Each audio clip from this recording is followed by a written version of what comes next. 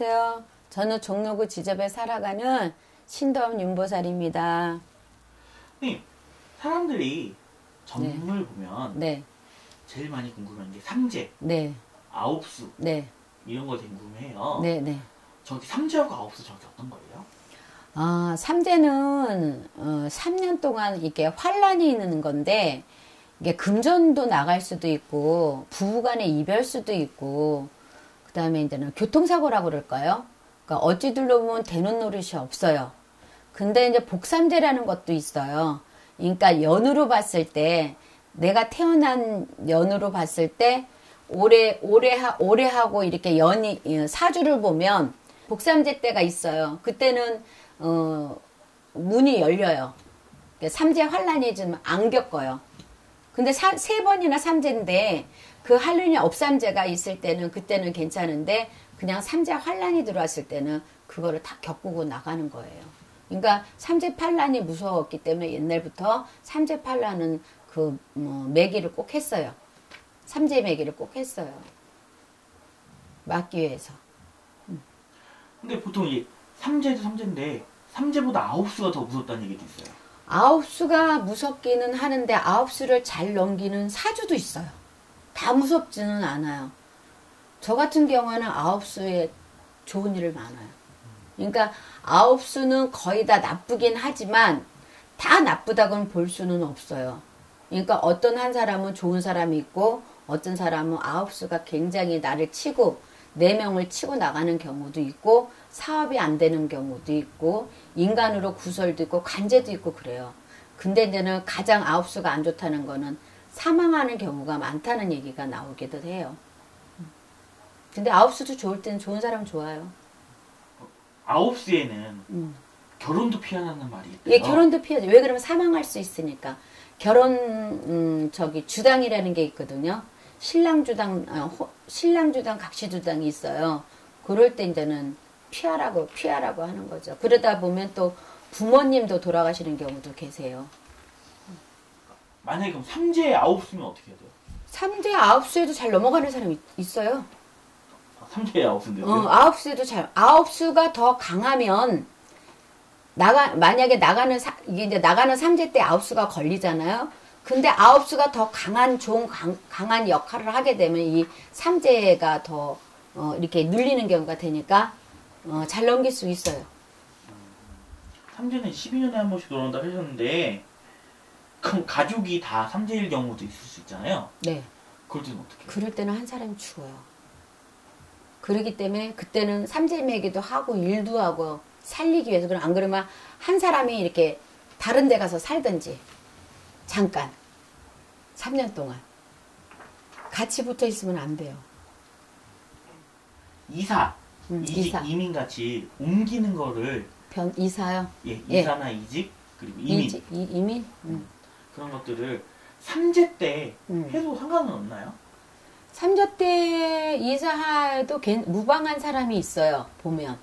근데 거의 다 삼재 때는 이제는 좋은 운이 없기 때문에 좋은 집을 구할 수가 없잖아요. 그러다 보니까 움직이지 말라고 하는 거죠. 이게 삼재는 환란이 오는 거잖아요. 그럼 내가 좋은 집이 아닌 게 좋은 집으로 보이거든요. 그러면 좋은 터로 갈 수가 없어요. 그러기 때문에 삼재 때는 움직이지 말라는 거, 말라고 하는 거죠. 삼재 기간 중 집수리는 해도 되나요? 안 되죠. 수리가 안 되죠. 좋은 운이 아닌데. 그쵸? 그러다 이제 돈법 나죠? 그러면 이제는 좋은 일이 없겠죠. 그러니까 하지 말으셔야죠. 될수 있는 한 삼재 때는 뭐든지 아무것도 손을 놓는 게 가장 좋은 거예요. 그리고 또 삼재 때 어, 좋은 사람이 들어오지 않죠. 안 좋은 삼재나 음. 아홉수 음. 잘 지나갈 수 있는 방법이 있을까요? 어, 제가 봤을 때는 삼재를 잘 지나가게 하려면 삼재 풀이를 해야 되는 거로 음, 그게 무방한 거고요. 아홉 수는 안 좋으니까 아홉 수 쪽을 잘 막아야 된다고 저는 생각이 들어요. 그러니까 치성을 하든지 구슬 하든지 어느 각 저희가 아까 청기누설을 말씀을 하셨잖아요. 아홉 수에 너는 죽는다까지를 얘기를 못 해요.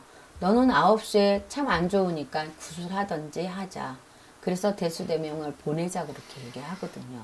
그래서 그럴 때는 자- 아홉수가 그 사람 사주상 아홉수가 안 좋은 사람 있잖아요. 그때는 일을 하셔야 돼요. 대신 가게 때문에 내가 37인데 수가 너무 안 좋아요. 안 좋은데 남의 명의로 가는 회원이 되는 거예요. 그게 하늘에 문이 열렸다고 해서 그럴 때는 일을 하라고 그래요. 삼재하고 아홉수 안 좋다고 하시잖아요. 네. 그럼 좋은 수는 없어요? 좋은 수도 있죠. 왜 그러면 내가 사주상 몇 월 달이 좋고 몇 월 달, 근데 365일 거의 다 좋은 거는 많지는 않아요. 그러니까 우리가 살아가면서 웃음이 얼마큼 있겠어요. 그쵸? 한 달에 사- 웃으는 게 많지가 않아요. 기쁜 일이 많지가 않아요. 그쵸? 근데 이제 조상의 공덕을 많이 닦으시는 분들은 조상들이 그걸 받아 먹어요. 그러니까 삼재도 잘 넘길 수가 있는 거예요. 그러니까 저렇게 해서 나쁜 해운을 이제 좋은 내가 나쁜 거를 막는 일을 하는 거지 어떻게 좋은 운이 들어올 수는 없어요. 그때까지는. 그럼 대운이라는 것도 있다고 하는데 있어요. 네. 대운은 전 뭐예요? 대운이라는 거는 10년을 보거든요. 10년 동안은 내가 좋은 운이 계속 10년 동안 쌓여 있어요. 그래서 그걸 대운이라고 하는 거예요. 그러니까 대운도 어떤 사람은 4년까지 뿐이 없는 사람이 있어요. 왜 그러면 연으로도 봐야 되니까. 내가 몇 년도, 이 올해 이제는 무술년이잖아요. 무술년 때이 사람 대운이 들어왔는데 무술년 때 나를 치는 해운년이 있어요. 그럼 그때는 이제는 그때까지만 어, 대운 대운이 있고 그 이후에는 대운이 없다고 하는 경우도 있고 대운이라는 거는 짧은 사람이 있게 긴 사람도 있어요. 근데 10년까지 길기는 힘들어 보니까. 삼재와 아홉수 때문에 걱정하는 분들에게 한마디 해주신다면 삼재는 어, 환란이 많기 때문에 어, 삼재 매기를 꼭 해줘서 넘어가시는 게 가장 좋은 것 같고요. 아홉수는 어, 나쁜 어떤 내 몸을 치는 수전이 많기 때문에 아홉 수도 잘 이렇게 해결을 하고 가시는 게 가장 좋은 방법인 것 같아요. 그러니까 잘 이렇게 생각을 많이 하셔서 어, 일을 행하셨으면 좋겠습니다.